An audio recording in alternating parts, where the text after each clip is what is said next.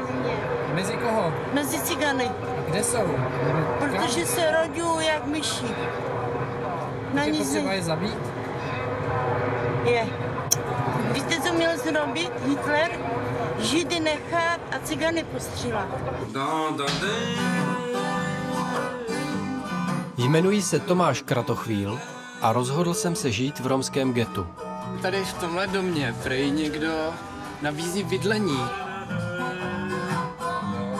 Tohle je Jarda Gaži, můj nový pan domácí. Budeš mít jak ve zlatě.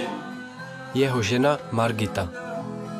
Ale my taky mluvíme česky a nikdo nás jako nebere, že bychom patřili do české nějaký skupiny lidí. Myslíš, že cigáni kradou víc než Češi? Češi kradou víc. Kolik kradou v parlamentu? No proč parlament nejdou napadat s flaškama, zabíjet a tak dále? V Ústeckém kraji jsou podle odborníků desítky lokalit s velkým sociálním napětím.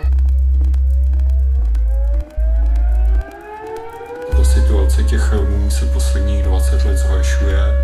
Stojíme teď na nějaký hraně propasti a je za pět minut 12. Kdybych měl říct osobně, je to láska k vlasti. Nacionalismus. Jsme utlačovaný. Kdo? Ne, my? my? Češi. Bílí. Berou vyšší dávky třeba než my. Úplná svoloč. Proč ty lidi aspoň povstanou a vyvraždí všechny? Takže teď je potřeba něco udělat. Já bych si chtěl s někým pobavit. Já bych chtěl.